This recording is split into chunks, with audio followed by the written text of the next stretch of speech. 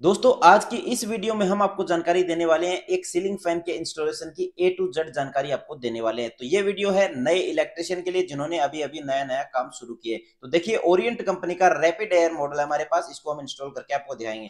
इसके लिए देखिए, हमें जो टूल चाहिए, एक प्लायर एक स्क्रू ड्राइवर एक चाबी चाहिए, एक की और एक डेढ़ फुट की तार और उसके अलावा हमें टेस्टर और कुछ टूल और चाहिए, ठीक है? इसके बाद में हम इसकी देखिए अनबॉक्सिंग करते हैं। ऐसा एक बेल्ट हमें देखने को मिलता है।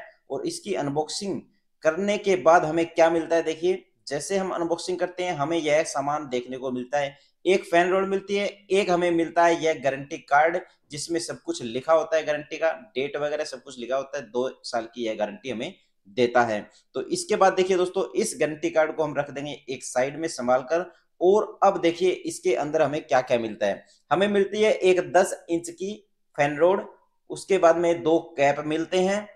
जिनको हमें फ़ैन रोड के अंदर फिट करना होता है। देखिए, यहाँ पर एक कैप के अंदर नाम लिखा होता है कंपनी का और दूसरे कैप में कुछ भी नहीं लिखा होता है। इसके बाद में देखिए, ये एक सेफ्टी के लिए यहाँ पर कुछ बनाया होता है और उसके अलावा देखिए, यहाँ पर एक मिलती है साइकिल किट, ठीक है? तो साइकिल किट को आपको बहुत ही सावधानी से लगाना होता है। इसकी भी पूरी जानकारी आपको आज देंगे। इसके बाद देखिए, यहाँ पर ये सेफ्टी रोप मिलता है दोस्तों। प्रोटेक्शन के लिए ये एक एक्स्ट्रा वायर मिलती है सपोर्ट के लिए। इसको सबसे ज़रूरी होता है लगाना। अगर इसको लगाना नहीं आता तो आपको पंखा लगाना नहीं आता।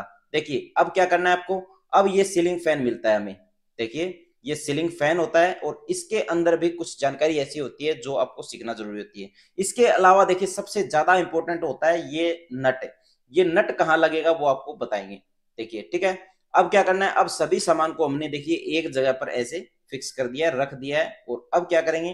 देखिए, ये जो नट है दोस्तों, ये छह नट आपको देखने को मिल रहे होंगे और यहाँ पर एक गत्ते की वार्सल टाइप की लगी होती है जिसको वहाँ पर लगा रहना देना होता है। यहाँ पर एयर ब्लेड लगती है, ठीक है? और अब स्टार्टिंग करते हैं इसकी जो इंस्टॉलेशन की प्रोसेस है, यानी कैसे आपको इसको लगाना है। सबसे पहले इस फ़ैन रोड को आप निकाल लीजिए।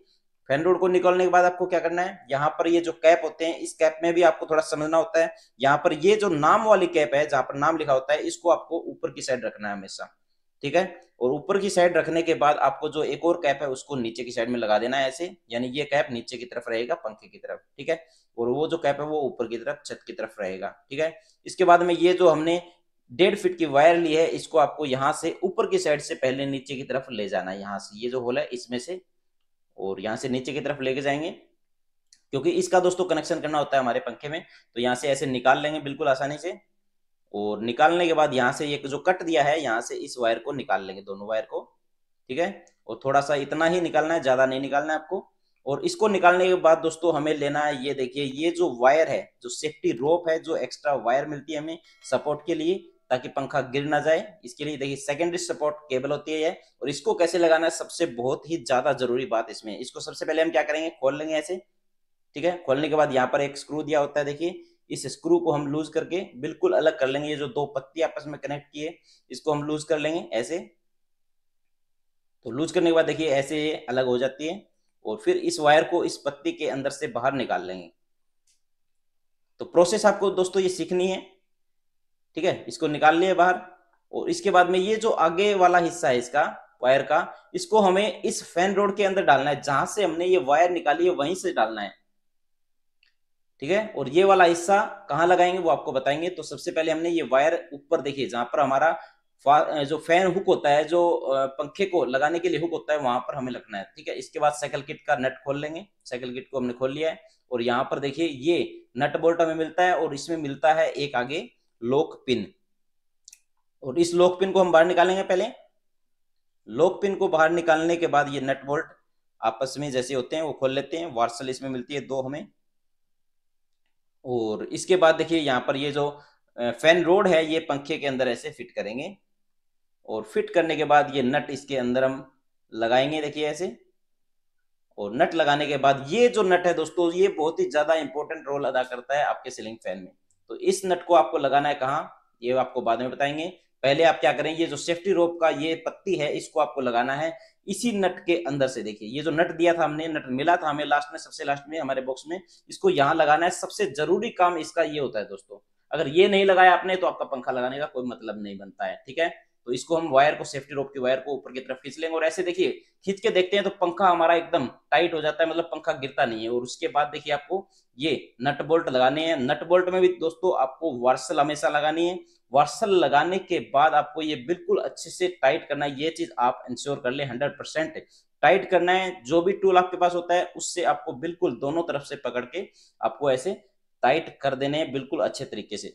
ठीक है? और फिर इंश्योर करना है जो फ़ैन रोड और फ़ैन है, इसके बीच में कोई भी प्ले नहीं होनी चाहिए। और उसके बाद जो सेफ्टी लॉक पिन होती है, उसको हम यहाँ पर ऐसे लगा देंगे। देखिए, यहाँ पर हिला के देख रहे हैं हम, हिल नहीं रहा है पंखा बिल्कुल भी, ना फ़ैन रोड और ये जो पंखा है, इसके बीच में कोई भी किसी भी प्रकार की लूजिंग प्ले नहीं है हमें, ठीक है?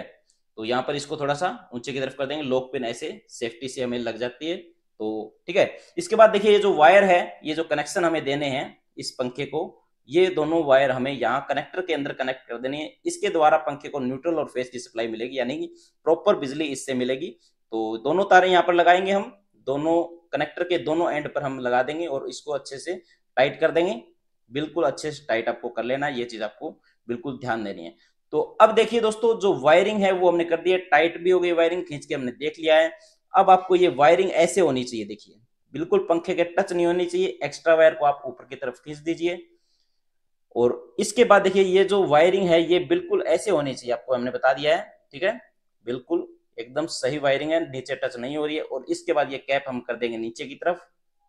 और नीचे की तरफ़ कैप करने के बाद देखिए, यहाँ पर अब शुरू होता है जो सेफ्टी रोप लगाने की प्रोसेस होती है वो, ठीक है?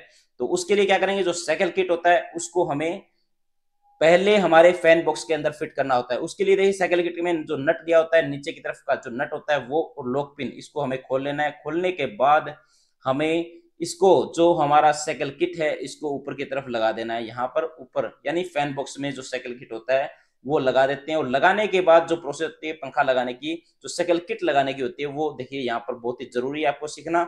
और अब देखिए यहाँ पर हम लगा देते हैं ये नट यानी कि जो प्रोसेस होती है, वो ये होती है, ठीक है? तो यहाँ पर हमने नट लगा दिया है। इसके बाद में दोनों वर्सल लगाएँगे और इसके बाद में लगाएँगे हम ये बोल्ट। और इसको भी प्रॉपर अच्छे तरीके से हमें टाइट करना, ये चीज़ इंश्योर कर लेनी है हमें। जो भी टूल आपके पास हो, उससे आप इसको टाइट कर दीजिए। उसके बाद जो सेफ्टी लॉक पिन होती है, उसको लगाना है। सेफ्टी लॉक पिन यहाँ पर लगाने के बाद इसको आप सेफ्टी लॉक पिन का एक पार्ट आगे से ऐसे थोड़ा मोड़ दीजिए। ठीक है जी? इसके बाद आपको क्या करना है?